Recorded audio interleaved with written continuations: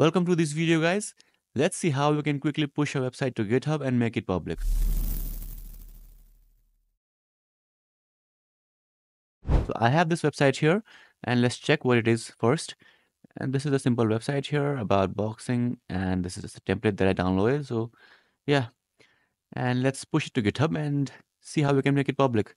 So first let's go to GitHub itself, right? And I'll create a new repository. If you already have a repository, this will work with that too. I'll just call it Boxer website and I'll leave it to public and click on create repository. So now we have our repository ready. So we just need to push that code here and then do some stuff here in GitHub pages to make it public. First, you need to copy this. Okay, so I'll just copy this URL here and go back to my project here locally and create a local git repository here. So open command prompt in this directory. So as you can see, I am inside my project folder here and initialize a local git repository. I'll add everything to tracking and I'll add a first commit message and say working. Okay. And now let's add a remote repository that we copied from there. And now we need to check our branch, right? So we only have master branch by default in GitHub by default here. So as you can see, they're pushing to main branch. But in our local, we have the master branch. So what we do is we first check out to a new branch and call it main. And then we just push it to GitHub. Okay, it is now pushing to GitHub because we have added a repository link here.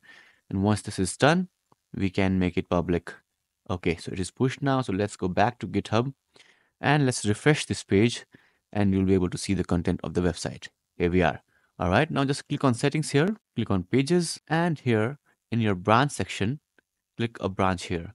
So we only have a main branch. If you have multiple branches where you have different features, you can just switch to any of the branch that you want. So I'll click on main and just click on save. So now as you can see, it is showing the message GitHub page source saved. Now it will take a while to deploy your website. So I'll just refresh this. Okay, let's see if it is done or not. So it's not complete yet.